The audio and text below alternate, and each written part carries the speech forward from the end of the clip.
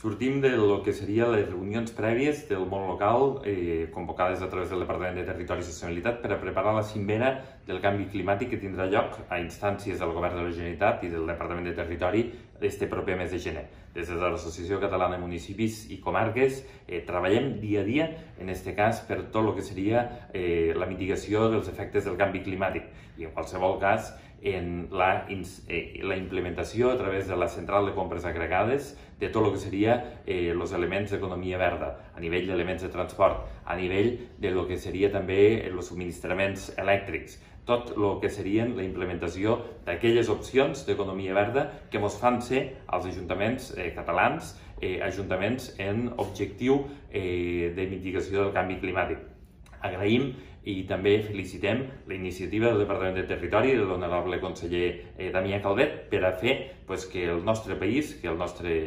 que el nostre país sigui eh, país objectiu, en aquest cas, eh, de mitigació del canvi climàtic, en aquest decret d'emergència climàtica que ens permetrà estar al capdavant dels països europeus i dels països a nivell mundial que representen pues, este punt de sensibilitat cap al canvi climàtic.